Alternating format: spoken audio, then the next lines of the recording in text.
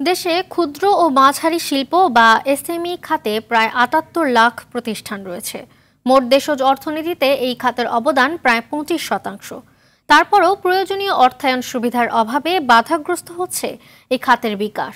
উদ্যোক্তারা বলছেন, পণ্য প্রদর্শনের প্ল্যাটফর্ম তৈরি, অতিরিক্ত ভ্যাট, ট্যাক্স ও ব্যাংক ঋণ প্রাপ্তিতে অসুবিধা অন্যতম অন্তরায়। অর্থনীতিতে ক্ষুদ্র ও মাঝারি শিল্পের অবদান বাড়াতে আগামী বাজেটে সাতশো কোটি টাকা বরাদ্দ চাইলেন এসএমই ফাউন্ডেশনের চেয়ারম্যান মাসুদুর রহমান। আতিকা রহমানের রিপোর্ট।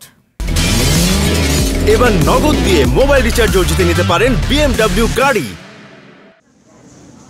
দেশের ক্ষুদ্র মাঝারি শিল্পের প্রতিষ্ঠানগুলোর বড় অংশই অনানুষ্ঠানিক খাতের। শিল্প খাতের এসএমই সেক্টরে কর্মসংস্থানের পরিমাণ প্রায় আশি ভাগ, জিডিপিতে এসএমই খাতের অবদান প্রায় পঁচিশ ভাগ। এ খাতকে আনুষ্ঠানিক প্রক্রিয়া আনা গেলে জিডিপিতে অবদান বাড়বে। ক্ষুদ্র মাঝারি উদ্যোক্তারা বলছেন, সরকার যে আর্থিক সহায়তা দিচ্ছে তা উদ্যোক্তাদের চাহিদার তুলনায় অপর্যাপ্ত।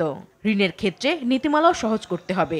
আমার জন্য একটা প্ল্যাটফর্ম তৈরি করে দেওয়া যে আমি এই প্রোডাক্টগুলোকে বিশ্ববাজারে যাতে তুলে ধরতে পারি।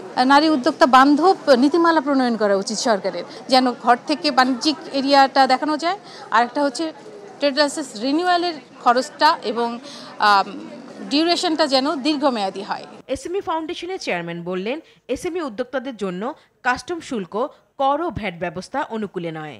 ঋণ ও সরকার যেসব কর, ভ্যাট সুবিধা দেয়, তার বেশিরভাগই পান বড় ব্যবসায়ীরা। পণ্য উৎপাদনে যে কাঁচামাল, সেটা কিন্তু বিদেশ থেকে আমদানি করা হয়।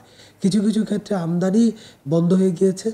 কিছু কিছু ক্ষেত্রে আমদানি হচ্ছে, কিন্তু ডলারের উচ্চ মূল্য কারণে আপনার ওই পণ্যের কিন্তু উৎপাদন ব্যয় অনেক বেশি বেড়ে গেছে। ট্যাক্স ভ্যাট কাস্টমস ডিউটি এবং অন্যান্য যেগুলি সরকারের শুল্কায়ন আছে এবং সরকারের যে ইম্পোর্ট এবং এক্সপোর্ট পলিসি আছে, সেই ক্ষেত্রে যে প্রতিবন্ধকতা আছে এবং সেই ক্ষেত্রে আমাদের স্থানীয় উদ্যোক্তারা যে আপনার তাদের বিকাশ হওয়ার ক্ষেত্রে যে বাধার সম্মুখীন হচ্ছে, সে ব্যাপারে কিন্তু আমরা আমাদের এই দুটি মন্ত্রণালয় কিন্তু আমরা জানাই থাকি। তিনি আরও বলেন, কোভিড পরিস্থিতি ও রাশিয়া ইউক্রেন যুদ্ধের কারণে এসএমই খাতে যে বরাদ্দ স্থগিত ছিল, তার থেকে থোক বরাদ্দ এবং নতুন অর্থ বছরের বাজেটের অর্থ পেলে এসএমই ভালো অবস্থান তৈরি করতে পারবে।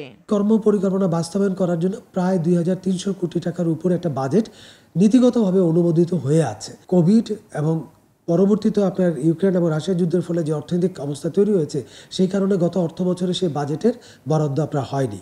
আমরা চাচ্ছি আপৎকালীন আমরা কিছু থোক বরাদ্দ আমরা চাচ্ছি ওই নীতিটাকে বাস্তবায়ন করার জন্য। দু হাজার চব্বিশ সালের মধ্যে জাতীয় আয়ে এসএমইর অবদান বত্রিশ শতাংশে উন্নীত করতে হলে এসএমই নীতিমালা বাস্তবায়ন গ্রামীণ অর্থনীতি সুদৃঢ় করা প্রযুক্তি সহায়তা ও আন্তর্জাতিক বাজারে প্রবেশ করতে বিজনেস সাপোর্টের দাবি জানালেন এসএমই উদ্যোক্তারা।